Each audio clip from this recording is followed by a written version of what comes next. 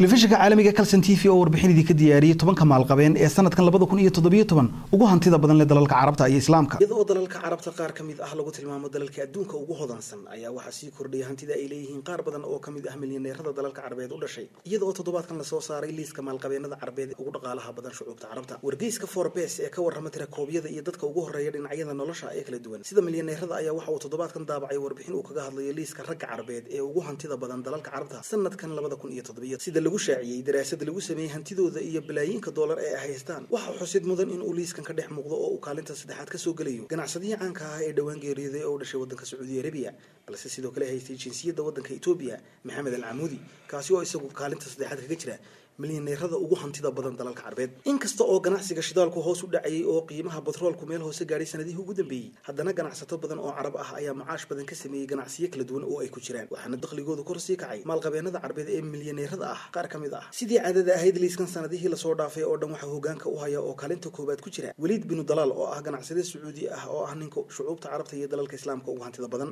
kaasi oo kaalmaha horena sidoo kale kaga jira milyaneerada adduunka amiir weliid binu dalaal oo ka tirsan qoyska boqortooyada dalka sacuudi arabiya maamula waxaa hantidiisii ugu dambeysay lagu sheegay in ka badan sagaal iyo toban bilyan oo dollar. Halka uu kaalinta labaad ka soo galay maalqabeenka reer imaaraat ee majid al futaym oo isagu haysta qadar lacageed oo dhan toban dhibic lix bilyan oo dollar. Liiska tobanka milyaneer ee carbeed ee ugu horreeya sanadan labada kun iyo toddobiyo tobanka waxa ay u kala horreeyaan sidan. Kow weliid binu dalaal al sacuud waxaa hantidiisa lagu qiyaasay in ka badan sideed iyo toban dhibic toddoba bilyan oo dollar waana ganacsade u dhashay waddanka sacuudi arabiya. Kaalinta labaad waxaa ku jira majid al futaym oo isagu u dhashay waddankaasi imaaraadka carabta. Kaasi oo hantidiisa lagu sheegay toban dhibic lix bilyan oo dollar. Kaalinta saddexaad waxaa soo galay allah u naxariistay ganacsade maxamed al camuudi oo isaga hantidiisa lagu qiyaasay sideed hal dhibic bilyan oo dollar. Waa ganacsade sacuudiyaan ah allah u naxariistay kaalinta afraad waxaa ku jira cabdallah bin axmed al guhayr oo u dhashay waddankaasi imaaraadka carabta waxaana hantidiisa lagu qiyaasay in ka badan lix dhibic sideed bilyan oo dollar. Kaalinta shanaad ee tobanka maalqabeen ee ugu hantida badan dalalka carabta waxaa ku jira ninka lagu magacaabo nasiif sweris oo shan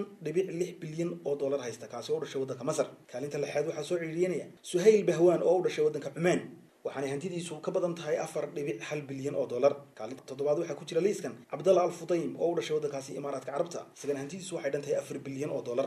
Kaalinta sideedaad ee liiska tobanka nin ee ugu taajirsan dalalka carabta waxaa ku jira najiib sweris oo u dhashay waddankaasi masar. Kaasi oo hantidiisa lagu sheegay in ka badan saddex dhibic sagaal bilyan oo dollar. Kaalinta sagaalaad waxaa soo ciriiriday isaguna amiir suldaan bin maxamed bin sacuud al kabiir oo u dhashay waddankaasi sacuudi arabiya. Waxaanu haystaa hanti ka badan saddex dhibic sideed bilyan oo dollar ugu dambeyn kaalinta tobnaad waxaa ku jira ee liiskan xuseen sajwani oo u dhashay waddankaasi imaaraadka carabta kaasi oo hantidiisu ay kor u dhaaftay saddex dhibic toddoba bilyan oo dollar. Maxamed ilka case clison t v hargeysa